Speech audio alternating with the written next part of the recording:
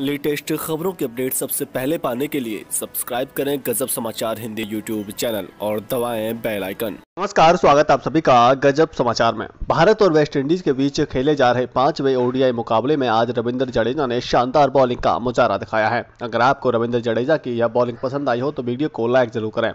आपको बता दें कि आज रविंद्र जडेजा ने अपने 9.5 ओवरों में चार विकेट लेकर शानदार प्रदर्शन किया है। उन्होंने अपने नौ ओवरों में एक ओवर मेडल भी डाला है। उन्होंने तीन पॉइंट चार छः की इकोनॉमी से आज बॉलिंग कराई है। अगर आपको रविंद्र जडेजा के प्रति कुछ कहना है तो कमेंट बॉक्स में कमेंट कर आप उन्हें सपोर्ट कर सकते हैं।